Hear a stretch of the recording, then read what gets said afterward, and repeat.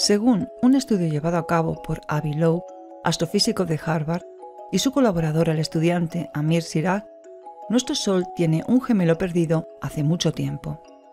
Aunque este pensamiento no es nada nuevo, recordemos la hipótesis Némesis, que es una teoría astronómica que se basa en la posibilidad de que nuestro Sol forme parte de un sistema binario.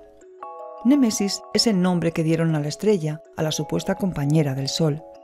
Esta hipótesis surgió en un artículo de investigación publicado en 1984 en la revista Nature. Y según este artículo, Némesis es una estrella oscura y pequeña, quizás una estrella marrón. Desde sus inicios, las hipótesis aparecen y desaparecen periódicamente en los medios de comunicación o en las revistas científicas y son rechazadas por unos y apoyadas por otros. John Matesey, de la Universidad de Luisiana, después de haber estudiado 82 cometas de la nube de Oort, pudo comprobar que sus órbitas tenían en común algunos elementos extraños que solamente se podían explicar con la existencia de un objeto mucho mayor que Júpiter. El nuevo astro estaría unas 30.000 veces más lejos del Sol que la Tierra, y haría su órbita alrededor del Sol en el sentido opuesto al de los otros miembros del Sistema Solar. Las investigaciones actuales llevadas a cabo por Loeb y Sirach llevan a pensar que la zona de nuestra nube de Oort puede contener un registro de la influencia de ese gemelo.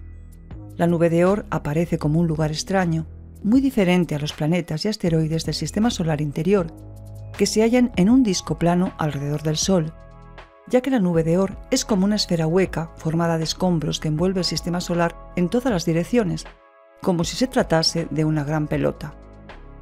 Estos distantes vagabundos, a diferencia de los planetas interiores, muestran muy poca gravedad con respecto al Sol, por lo que podrían ser fácilmente empujados fuera de sus órbitas hacia el espacio interestelar. Estos investigadores creen que es muy probable que la gravedad del Sol no fuera lo suficientemente fuerte como para atraer tantos objetos a las órbitas de Oort. Pero si el Sol y otra estrella orbitaran uno alrededor del otro, entonces los cálculos sí tendrían sentido. Cuando el Sol y su gemelo se separaron, es probable que sus órbitas se rompieran a causa de un encuentro con una tercera estrella, y cada uno habría estado envuelto en una nube de Oort más espesa. Según Loeb, esta teoría explica no solo la cantidad de objetos que se encuentran en la nube de Oort, sino también su forma esférica. Si el Sol hubiera atraído objetos al azar del espacio profundo, estos habrían formado una esfera a su alrededor y no un disco. Lowe tiene puestas sus esperanzas en el Gran Telescopio de Estudio Sinóptico, LSST, que empezará a funcionar en Chile en el año 2021 y escaneará el cielo con un detalle sin precedentes. Será tan preciso que localizará los objetos más lejanos y aquellos que apenas resulten visibles.